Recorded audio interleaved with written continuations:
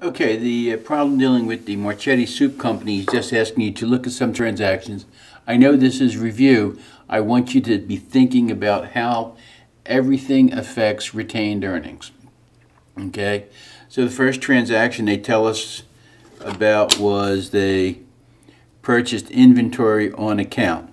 Okay, so assets go up, liabilities go up the company is worth the same amount of money. There's no change to the value of the company. Okay, then I paid $54,000 in salaries. So assets go down 54,000 and retained earnings or equity goes down by 54,000, okay?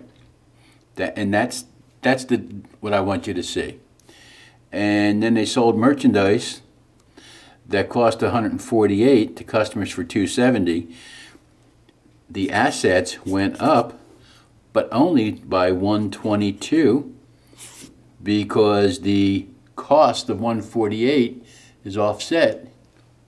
So we have cost of goods sold for 148 reduction in inventory 148 so that's a wash. And then we collected $250 in cash from credit customers well, that's one asset going up and another asset going down, so there's no effect. And last but not least, they paid suppliers. So our assets have gone down, our liabilities have gone down, and the net worth of the company stays the same. And that's what I wanted you to see with that one. So if we fill in the little chart that they ask us to fill in, we get this the $215,000 for the uh, purchase of inventory. Assets go up by 215, liabilities go up by 215. No change to retained earnings or equity. And then we pay salaries of 54,000, so that's our cash is going down 54. Our retained earnings, our equity goes down by 54 and then we sold some stuff for 270 cost us 148 the net worth of the company increased by 122 cash accounts receivable.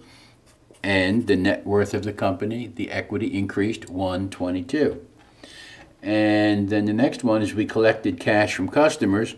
One asset goes up the other asset goes down same amount no effect on retained earnings and then we paid suppliers.